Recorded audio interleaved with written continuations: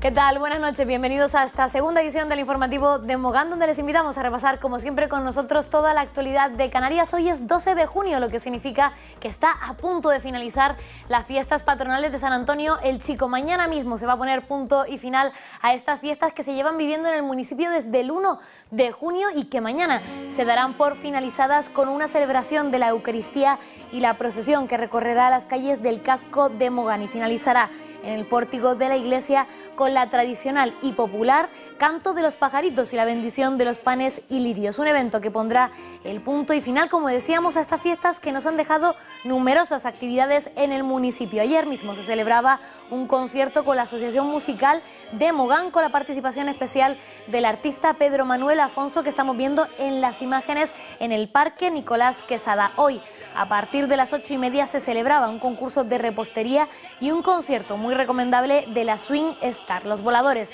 a partir de las 12 de la noche, homenajearán estas fiestas para dar paso a una verbena municipal esta misma noche que amenizará muy especial para los moganinos.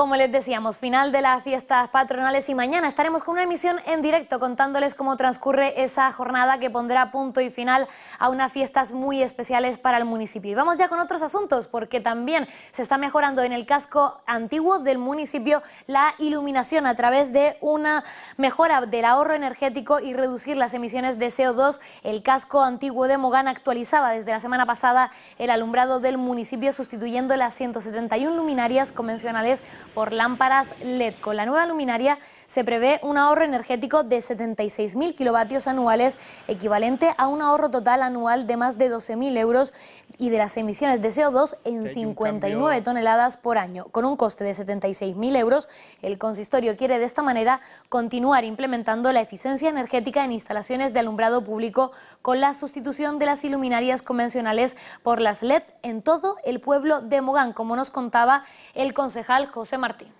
Se ha hecho un cambio de luminarias en la zona del pueblo, adaptándolas a la normativa de ahorro energético.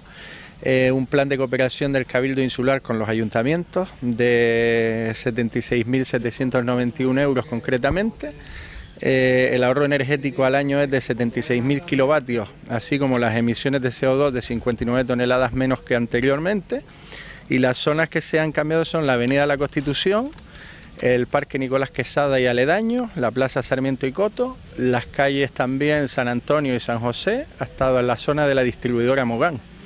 Eh, esas son las actuaciones que se han hecho hasta el momento y hay una segunda actuación que concretamente lleva lo que es el cambio de luminarias totales en el casco del pueblo. Y más asuntos porque continúan las obras de acondicionamiento y rehabilitación del futuro centro para mayores que se va a vivir en el municipio de Mogana. Hablamos del centro de adultos y aula de idiomas que estaba localizado en el edificio público donde se encontraba la antigua sede de la Guardia Civil, exactamente en la Plaza de las Marañuelas y Arguineguín. Las obras de acondicionamiento y adaptación de la accesibilidad se han retomado recientemente tras la subsanación de errores y omisiones y la inclusión de varias mejoras en un nuevo proyecto. Concretamente, este documento tenía más detalles que nos ofrecía el concejal Ernesto Hernández.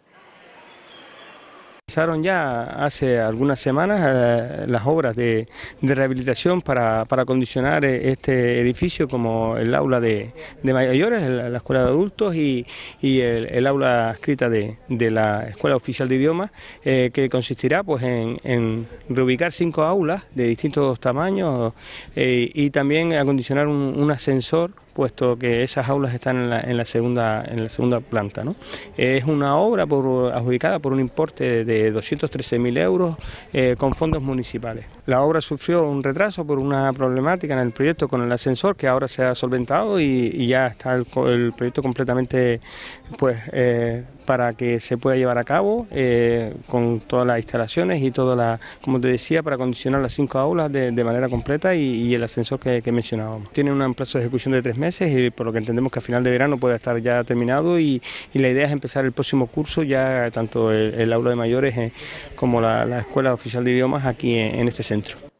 Y abrimos ya la página de deportes porque llega la duodécima edición de la travesía a nado de Playa de Mogán, una nueva edición de esta competición deportiva que llegará el próximo sábado 21 de julio. Los interesados en participar en la prueba ya pueden inscribirse hasta el próximo 16 de julio a través de la página web municipal. La prueba contará con una distancia de 1.200 metros y como novedad este año también contará con varios circuitos infantiles. La travesía de 1.200 metros arrancará a las 11 de la mañana del sábado 21 de julio desde la playa de Taurito hacia la playa de Mogán. Esta travesía de aguas abiertas cuenta con un cupo de 300 plazas disponibles en la que podrá participar cualquier persona de cualquier nacionalidad, como informaba el concejal de deportes Luis Becerra, quien también adelantaba que ya se encuentra abierto el plazo de inscripción para poder participar en esta prueba deportiva en el municipio de Mogán.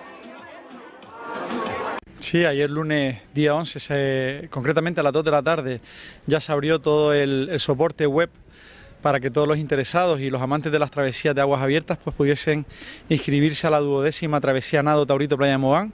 Como todos saben es una travesía eh, muy peculiar eh, que tiene un carácter pues incluso eh, histórico o, cultural de, de, esa unión entre la playa de Taurito y playa de Mogán. Eh, con una distancia muy cortita de 1200 metros, pero que al final la gente le gusta mucho acudir a ellas.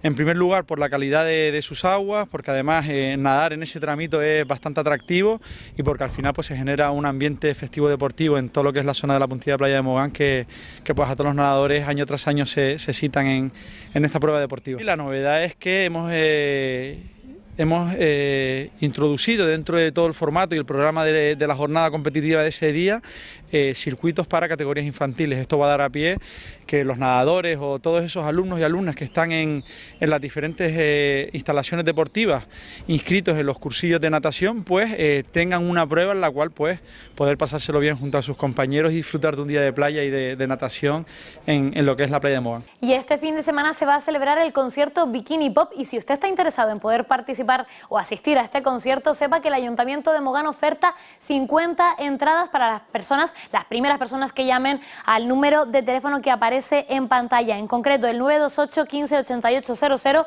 extensión 1203. Las entradas se van a regalar a esas primeras 50 personas que llamen antes de tiempo, antes de que se agoten, además que incluyen esas entradas un transporte gratuito al concierto en el que actuarán grupos españoles como Los Secretos, Coti, Danza Invisible, La Guardia, OBK o La Frontera. El próximo 16 de junio en la capital Gran Canaria, en concreto en el pabellón de Infecar. Esas entradas, 50 entradas gratuitas por parte del Ayuntamiento de Mogán. Exactamente, lo hemos hecho, las repartiremos entre las primeras 50 personas que, llamen, que estén interesadas. Es un festival que se celebra en Infecar y que, bueno, vienen grupos de rock de nivel nacional, como puede ser La Guardia, Los Secretos, OBK y hay algunos más por ahí que ahora no, recuerdo. Vamos, que es un festival de, primera línea en ese sentido. Y que bueno recibimos 50, 50 invitaciones, nosotros aportamos el transporte para el desplazamiento. Y que, y que bueno, hemos pedido una, eh, la verdad que lo hemos visto como una oportunidad para hacer eh, esa propuesta a los ciudadanos. Y como te decía, lo repartiremos entre los 50 primeras personas que llamen al Departamento de Cultura del Ayuntamiento de Mogán.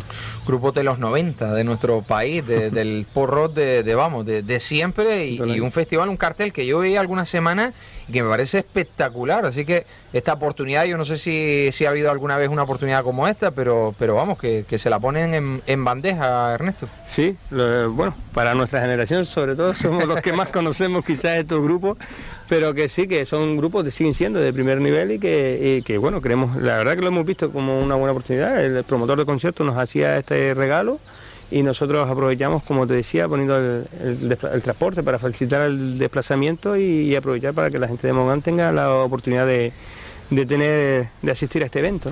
Y vamos ya con otros asuntos a nivel autonómico porque continúa la polémica sobre Radio Televisión Canarias después de conocerse ayer mismo el nombramiento, la propuesta por parte de Coalición Canarias de José Carlos Naranjo Sintes como administrador único interno de Radio Televisión Canaria. En el anuncio de la candidatura, el portavoz del Grupo Nacionalista, José Miguel Ruano, ha destacado sus conocimientos jurídicos, económicos y de gestión del actual consejero de la Audiencia de Cuentas de Canarias. La propuesta realizada por este partido se produce tras la segunda reunión de los grupos parlamentarios para acercar posturas sobre la reforma urgente de la ley de este ente público que se debatía esta misma mañana en el Pleno de la Cámara y que debe permitir al Ejecutivo nombrar un administrador único interno que afronte la gestión de este ente público en tanto se modifica en profundidad la norma que regula la radiotelevisión pública en las islas.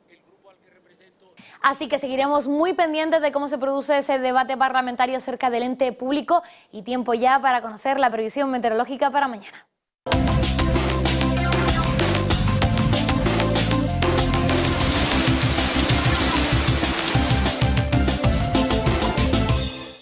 Nuboso en el norte de las islas de mayor relieve, con apertura de claros en la segunda mitad del día, intervalos nubosos en Lanzarote y Fuerteventura y poco nuboso con intervalos nubosos por evolución en el resto. Probables lluvias débiles y ocasionales en el norte de las islas de mayor relieve durante la primera mitad del día y a últimas horas. Temperaturas con pocos cambios, viento del nordeste con intervalos de fuerte en vertientes norte y en Gran Canaria nuboso en el norte con aperturas de algunos claros por la tarde, en el resto poco nuboso con intervalos de evolución, probables lluvias débiles y ocasionales en el norte durante la primera mitad del día y a últimas horas serán más probables en medianías, temperaturas con pocos cambios, viento del norte con intervalos de fuerte en vertientes noreste y sudeste. Y la predicción meteorológica para este miércoles 13 de junio en el municipio de Mogán nos deja temperaturas mínimas de 18 grados, máximas de 26 grados. Los cielos estarán totalmente despejados, por lo que no habrá probabilidad de precipitaciones.